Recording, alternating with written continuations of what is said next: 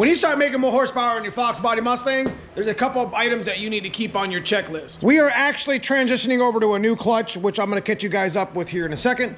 But there's a couple items over here on this bench, and there's an item installed on my Fox Body Mustang that, that you need to be aware of when you start making more horsepower to the wheels. It's a safety thing, so I felt we needed to do this video just so you guys know.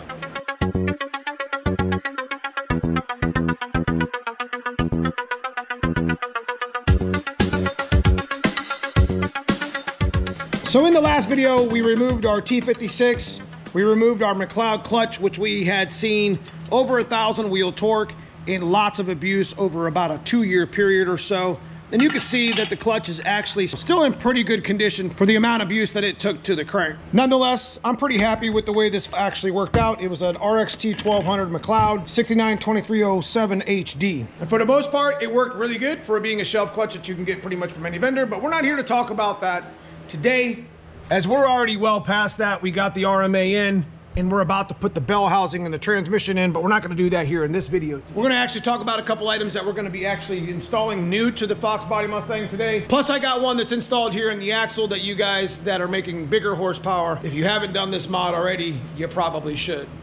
So we'll go ahead and talk about the first mod that's already here on the uh, my white Turbo Fox body that I want to show you guys that, you know, you start making, you know, 500 wheel. This is kind of a safety thing. So right here, I have both of my T56 Magnum drive shafts. Now this is just your standard Tremec one right here, which is also the same size as a normal factory one. And you can see the, just the difference in size and length. One of the first items that I did uh, is a forged yoke. If you get a T56 swap and you're about to put it here in your Fox Body Mustang, go ahead and do this right off the bat. Just go ahead and get you, you know, a forged yoke. And these are forged yokes that I ordered from Hanlon Motorsports. These are aluminum drive shafts from Inland Empire. And as you can see here, down at the bottom, or one of them's got a 1330 flange and the other one's got a 1350. So let me go ahead and flip the, um, the two drive shafts over. This drive shaft is for the white Fox body here on the channel.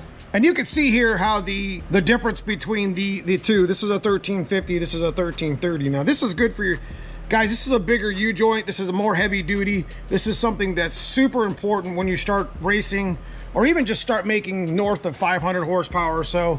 And it's also something that if you're changing your gear, you could also change the flange as well, as there is a flange that's specific for a 1350.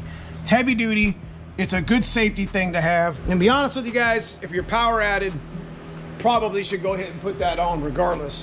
1350 joint, forged yoke, good drive shaft. It's got your safety written all over it. And that's all I'm here to do today on the channel is to point out a couple things that are super important for your safety on top of a couple products. And that item is a Stiffler's drive shaft loop. Now they make variable different drive shaft loops for different cars. I mean, just in general, if you're not running a drive shaft loop and you're making, you know, really good power on top of the 1350 joint and the forged yoke I just told you about, this thing's very, very important because what could happen is, you know, one of these U-joints could come loose, your yoke could break, whatever. And when this drive shaft comes down out the front of your car and like literally pole vault it, you know, causing an accident. I've seen it happen in person. It's not fun to watch and it's very dangerous. Now they make variable different brands of drive shaft loops, but this one's kind of nice as we're gonna install it here on the channel today, how easy it is. It doesn't really require any drilling. I used to have a drive shaft loop installed on the bottom of the car that required drilling. As these used to be where it used to be at but it always hit my drive shaft and it's always making, you know, ting-tang noises every time my suspension would change. We decided to address that today on the channel with the drive shaft loop and maybe hopefully this will help somebody, especially with the flange in the back. I mean, legitimately guys, five, 600 horsepower plus, you probably should be doing this mod right here for your own safety. That 1330 joint's on borrowed time. And so is it that cast iron front yoke. So I'm gonna go ahead and get the uh, transmission and the bell housing. I'm not gonna do that on this video, but when we get to the point of installing the drive shaft loop, I'm gonna go ahead and video some of that as it's not really all that difficult and it's got good adjustability to it and it goes in and out of the car pretty easy. It's not something you have to drill to the floor and constantly have to monkey with. So, well, I had to call my son over here because I don't have any help on a Sunday to put this old heavy ass transmission in. So we're gonna attempt to do that. I'm gonna try to uh, try to be as nice as possible to him. you guys that held wrench for your dad for all them years when we were younger, y'all know what I'm talking about. All right, we have bench, just do bench presses like 300 at 14. It's ridiculous. Here, put that bolt in over there. Good job, son. It actually went in pretty good. We just tilted it a little bit and took care of some business. Now we're just gonna go ahead and, uh, you know, I know this isn't about the video, but I thought it was pretty cool because it's the first time I've actually asked my son to help me with something very difficult. And this isn't easy to put in, but it went right in. Not much of an issue. So, all right, so we got pretty much the whole swap stacked up here. Got everything locked down, all the bolts on the top, whatever. And we got the uh, flywheel all set here. My measurement earlier in the video of an inch and a quarter on the pivot, you can see how nice and parallel that is as soon as it touches the fingers of the twin disc. So it's gonna be a nice little uh, nice little throw here. But last thing we're gonna be doing here is trying to make sure that we don't get binding up here on the sheet metal because we're going to be adding, you know, our Stiffler's drive shaft loop right here. So we're going to go ahead and get these started on the mount so I it kind of keeps it in place.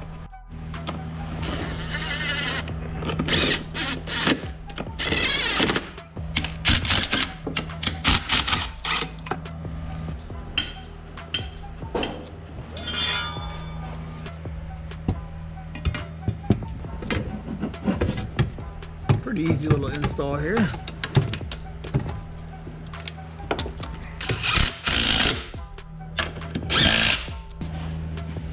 Hmm.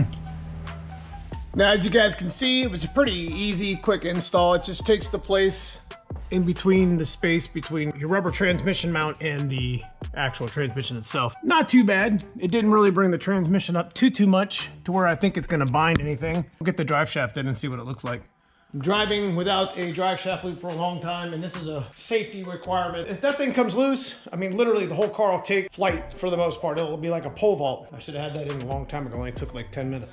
If you, if you guys have this Stiffler's cross member and the drive shaft loop in your ride, you know, comment below, let me know what you got it behind. Um, this is on a T56, but I do think the T5 one is a little bit different, so we're gonna probably get, we got another one over here on the shelf. Guys, I've literally ran that cross member for so many years, and it still works just fine. It's made well, it's it's it's got a lot of clearance. Uh, we're gonna stick the drive shaft in real quick, and we'll check to see how good that work, works out for us, and see how clear we are.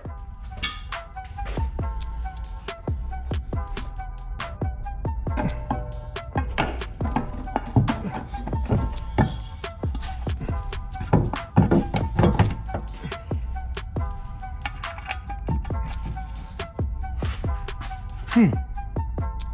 Looks like we're gonna be pretty good here, boys. Right, guys, just to recap real quick, end of the video. If this yoke was to go bad or this U-joint was to break, then this loop would just catch it for safety and keep the car from flipping over. Um, if it comes loose back here, the drive shaft would just fall out. All right, guys, I hope you guys enjoyed the video. It's an install of one of the uh, channel sponsors, Stifflers. I've been running their cross member for years. You guys see it in here. I got it in all my vehicles. Probably one of the better cross members you can buy out there. And of course, these Stifflers, the drive shaft safety loop, super easy. Just got to put it in between your transmission and your mount, uh, bolt it in, and it's pretty much done. You adjust it as needed. But guys, you enjoy this sort of video, leave me a comment below. Let me know what you think. Let me know if you're running one of them in your car. But stay tuned. We've got a lot of videos coming up. We're going to be racing a lot with the white car. We got the coupe coming back. We got the black car and the 387 transition that we're going to be doing soon. So we're going to be very busy on the channel. Make sure you subscribe if you haven't already. If you want to give something back to the channel and get exclusive content to the channel, there's a join button below for channel members. Appreciate everybody. See you soon in the next video. Thanks for watching.